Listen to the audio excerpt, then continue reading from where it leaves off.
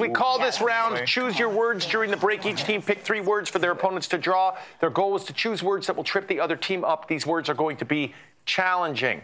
The theme for this round is things associated with baseball. Oh, things associated with baseball.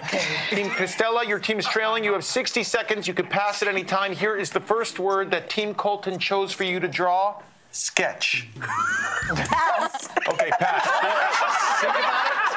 Ready, set, sketch. Weekdays at 4 and 5:30.